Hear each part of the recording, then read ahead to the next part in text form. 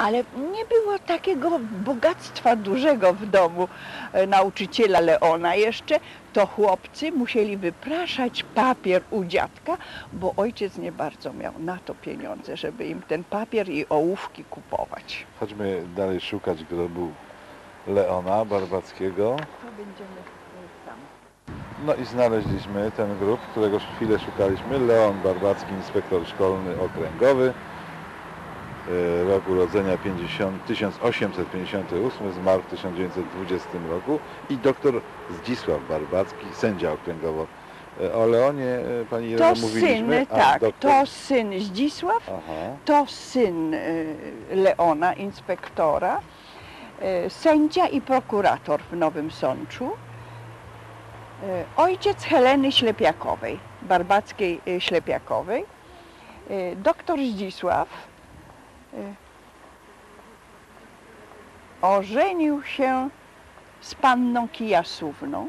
Jej ojciec, lekarz, wybudował willę Marię i stąd barbaccy przyszli do willi Maria. Dzisiaj się mówi e, nie o kijasach, którzy ją e, wznosili, ale właśnie o barbackich, którzy ją zasiedlili. Obok e, grup Pawłowskich e, i Stefania Kijas, należący także do rodziny Leona Barbackiego. Skoro jesteśmy tu w tej alejce, wystarczy się obrócić na drugą stronę i tam mamy znany już wszystkim sądeczanom pewnie grób Bolesława Barbackiego, e, patrona szkoły, Szkoły. Patrony, te, patrona teatru, Tak. Sokolnika również. Prezesa Sokoła może przez wiele lat. I no, o Bolesławie myślę, że powiemy trochę więcej, jako że to chyba najbardziej znana postać, choć myślę, że powinniśmy też powiedzieć, ale to za chwilę, o e, burmistrzu, bo też znamienity to był człowiek. Jesteśmy przy grobie Bolesława Barbackiego i tu Pani Ireno jest historia taka, że to właściwie tak do końca nie wiadomo, gdzie ten grób jest.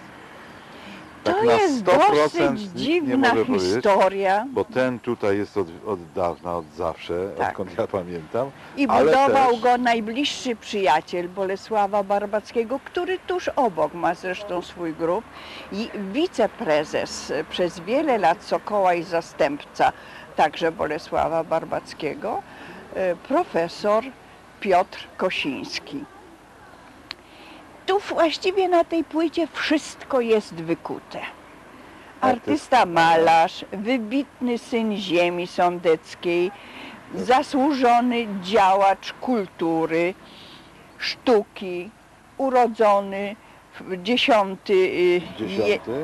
10 Dziesiąty, 1891, Zmarł dnia 20. rozstrzelany, rozstrzelany 21 sierpnia 1941 w Biegonicach.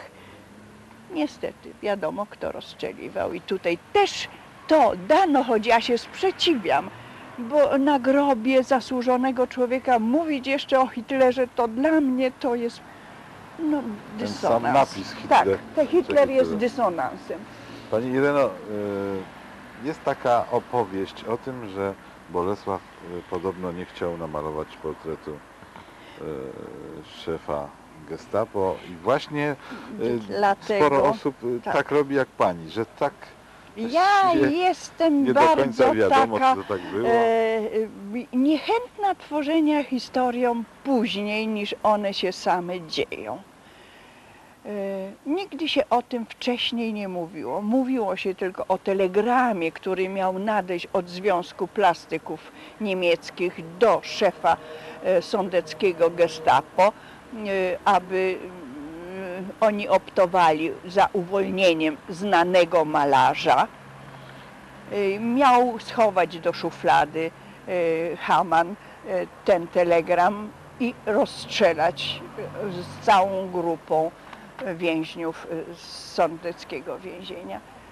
Ale y, to się dopiero teraz tworzy ta legenda, że właśnie nie chciał. Czyli I nie dotarłam, na, na nie dotarłam, Haman, Haman, tak. i, i Barbacki, ale nie wiadomo, czy akurat to tak. Czy właśnie ta historia, czy właśnie, bo kiedyś, kiedy się y, mówiło o śmierci Barbackiego, jego zasługi podnosiło, kiedy była ekshumacja tych wszystkich, którzy, którzy położyli swoje życie w tym rowie mokrym w Biegonicach, gdzie dzisiaj ołtarz zbudowany na tym miejscu i dwa pomniki, y, nie mówiło się o portrecie, o malowaniu portretu Drugi dla grób, Niemca. o którym wspomniałem, drugi grób Bolesława, jest e, tam, gdzie właśnie leżą szczątki tych ekshumowanych. Na starym miejsca, na starym cmentarzu, cmentarzu. na cmentarzu zasłużonych w alei, tam na tablicy widnieje nazwisko Bolesława Barbackiego. I zasadniczo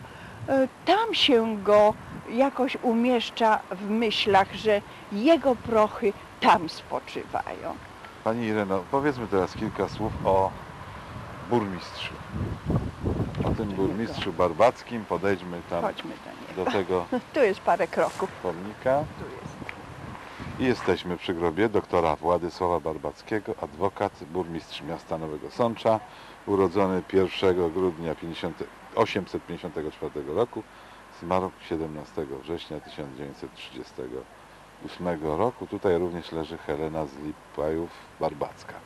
No i powiedzmy coś o tym burmistrzu, bo To też jest taki dosyć ciekawy okres w historii e, Sącza, kiedy po pożarach miasto się odbudowywuje od mniej więcej 1894 do 1900 roku.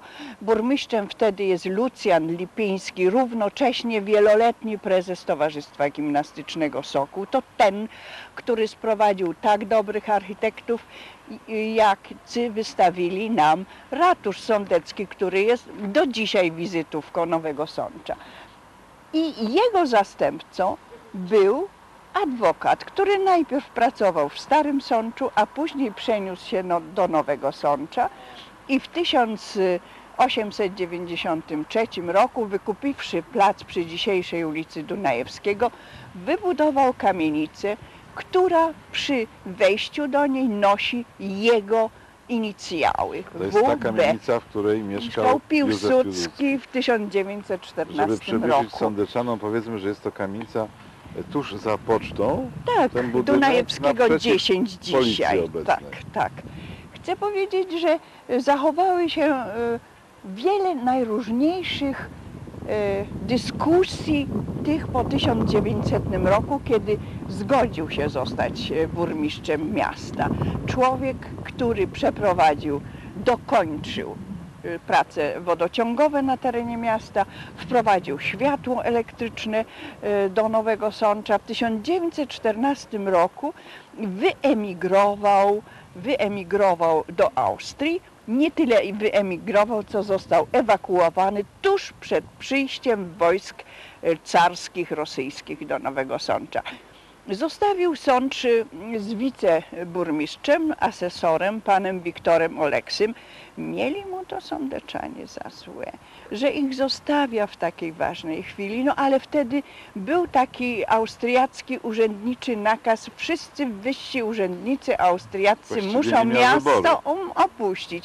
Opuścił wtedy także i Bolesław Barbacki miasto ze swoim ojcem i wszyscy zatrzymali się w Ischlu, tej kuracyjnej miejscowości w Austrii. E, Po 1914 roku, po powrocie do Sącza, już mniej urzędował, bardziej zajmował się kancelarią e, swoją adwokacką, a od 1918 roku już przestał być